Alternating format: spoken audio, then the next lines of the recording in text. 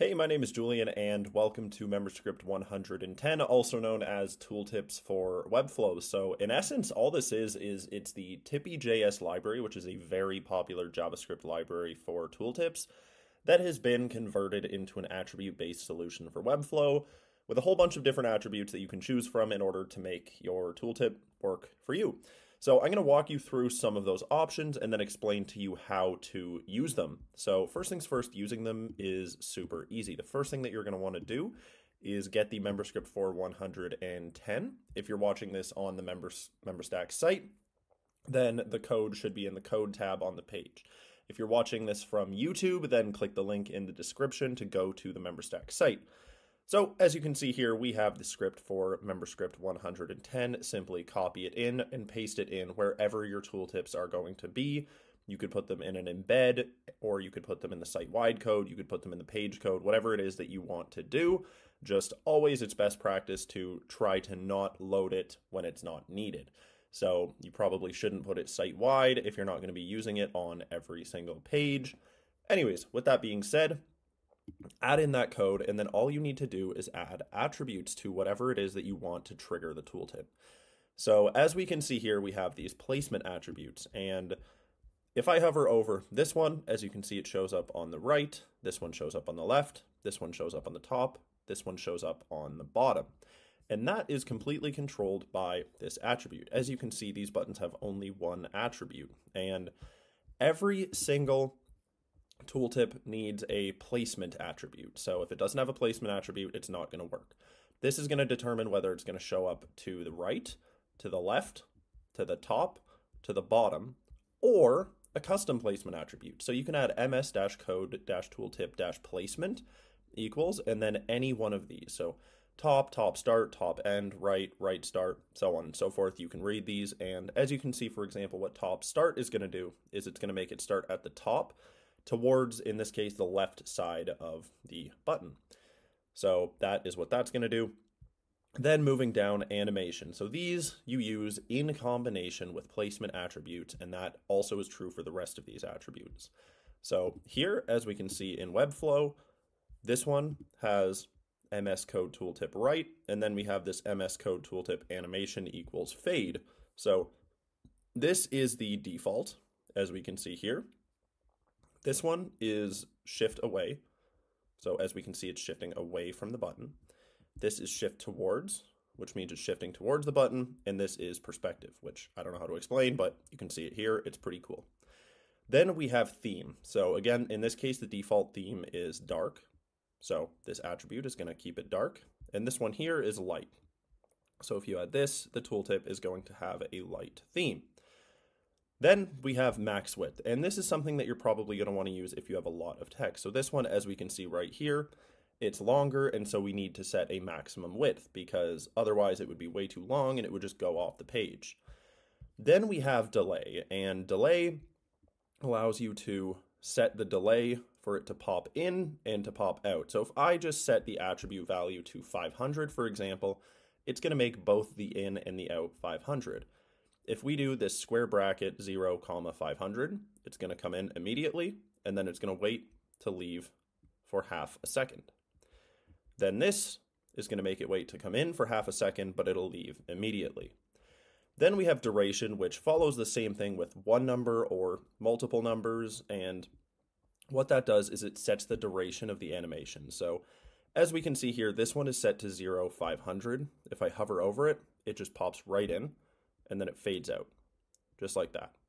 Same thing in reverse. This one fades in, pops out, fades in, pops out. So you can add that attribute if you want it. Then what we have is this interactive attribute. So MS Code Tooltip Interactive equals, in this case, true. And what that's going to do is this. A normal tooltip will work like this. When you're hovered over the element, it'll show up. Then if you try to hover over the tooltip, it won't. But this will allow you to hover over the tooltip, copy text, or if you're using HTML in your tooltip, then click buttons, so on and so forth. I'll show you that attribute in just a second. Next one is very simple. It is arrow. And this just determines, as you can see here, there's an arrow that shows up on the side. And this one, there isn't. So if you don't want the arrow, that attribute will allow you to remove it. Then we have some trigger attributes. So by default, it is mouse enter. As you can see here, it triggers when the mouse enters the object. And then this one, we have MS Code Tooltip trigger equals click. So hovering over it does nothing, as you can see. Clicking it makes it pop up. And clicking something else makes it go away. Then we have MS Code Tooltip trigger equals focus. And this one, if it's on a button, it will behave similar to mouse enter, or sorry, no, it'll behave similar to click. But usually this would be something you would use on form inputs. That way, even if you don't hover over the form input, you instead click tab, it's going to show up when the form input is focused. Then we have hide on click. So as we can see here, false, even if I'm clicking the button, if you can't tell, I'm clicking the button, the tooltip stays away or stays up. This one, if I click the button, it goes away. So if that's what you want, you can add that. Then we have follow cursor, which is pretty straightforward. As we can see here, this is following my cursor if it's set to true. If it's set to horizontal, it'll only follow it horizontally. If it's set to vertical, it'll only follow it vertically, as you can see. And if it's set to initial, it's just going to set the placement of it to be wherever the mouse entered. So let's say enter from the bottom right corner, it'll be there. Say enter from the left middle, it'll be there. Bottom middle, it'll be there. Hopefully that makes sense. Offset allows you to set the placement offset on it, again, in an array of two numbers, and these are set in pixels. So this one right here is set to minus 100 x-axis, 100 y-axis. So there we go. Then here are just a couple of other examples so you can see what it looks like. This usually you would want to do if, for example, you had some element beside it that just didn't make the tooltip work. Z-index allows you to set the Z-index. So for example, if your tooltip is getting stuck hiding behind something, you can increase the Z-index with the Z-index attribute.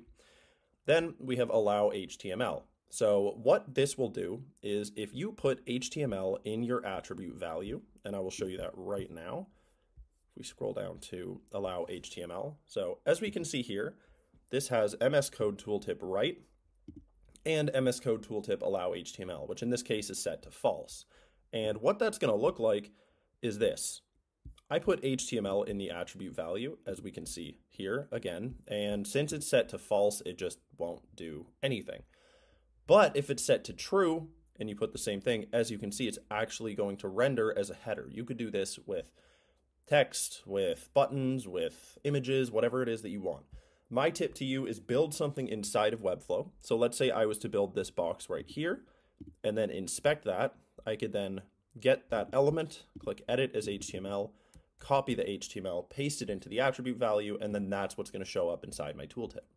So this one allows you to do some pretty cool things. And finally, we have the touch attribute. So this just determines whether or not it's going to show up on a mobile device when that element is clicked. So I can't show you this because I'm on a computer, but you get the point nonetheless. And that is it. Those are all of the attributes. I hope this helped. If you have any questions, let me know in the MemberStack 2.0 Slack in the MemberScripts chat channel.